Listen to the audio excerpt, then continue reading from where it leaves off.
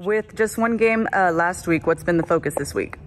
Well, we've really been focusing on taking care of the basketball. We've, we've really struggled in the turnover department, uh, especially in our conference opener against SFA. So, uh, you know, defensively, we're playing great right now. We're, we're holding teams to, to right around 60 points, but uh, our focus has to be on the offensive end, getting more shots, and we can do that by not turning the basketball over. So, um, back to fundamentals this week, and we're excited to, to go on the road and play Grand Canyon. What's the message to the team as we head out for the first WAC road trip?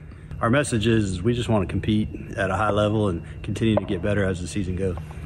And what do you think is the key to a successful weekend? Taking care of the basketball. Number one goal.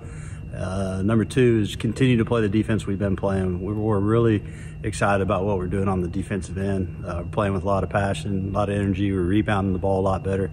Now we've got to go score the basketball and, and uh, not turn it over.